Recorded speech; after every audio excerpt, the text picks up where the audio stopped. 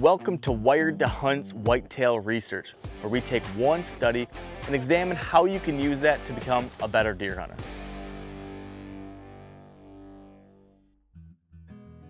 There's some deer research out there that suggests that bucks will stay bedded for up to 70% of their day.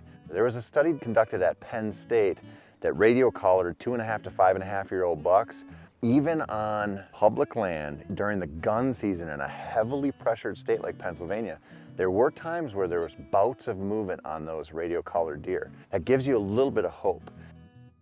But you gotta think about how does this really apply to my hunting strategy?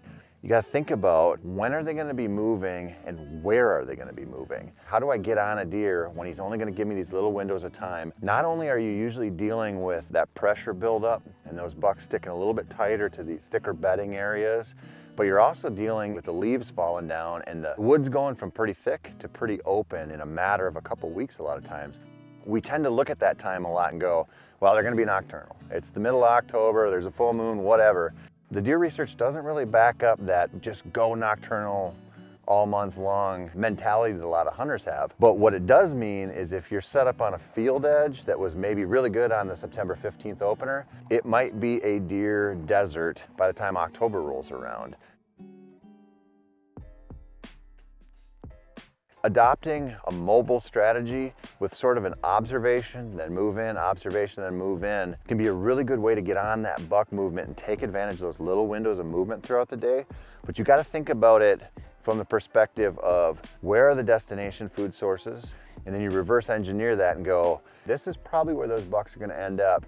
Even if you're not hunting specific buck beds, if you've got some areas that are definitely more likely to be the thick stuff that bucks are gonna bed in, so an actual bedding area, where is the chance to lay a trap in between and catch them? Instead of just riding out that field edge stand and hoping the rut comes and rescues you in three weeks, you can start peeling into that cover a little bit and setting up with a mobile strategy and watching glassing back into that cover. When they're gonna risk being on their feet for that, you know, maybe 20 minute period or maybe just before last light, the reality is those deer are out there and they're gonna give you an opportunity, but you're gonna have to work to figure that out. How can you get in there and really take advantage of those short movement windows? This might seem like a bow hunting only strategy, but the reality is this is a big deal for rifle hunters because rifle hunters and shotgun hunters have the tendency to want to sit on the open areas. Problem with that is, is you're dealing with a serious increase of pressure typically, and those deer are not gonna be super inclined, especially after opening morning in really high hunter density states, to just go out and risk their necks by popping out into the open.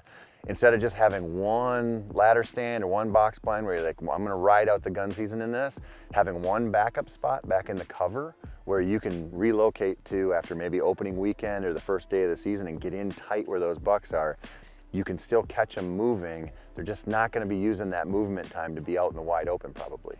If you want more information about whitetail hunting, please check out the Wired to Hunt podcast, the Wired to Hunt Foundations podcast. We've got all kinds of fresh content going up every single week.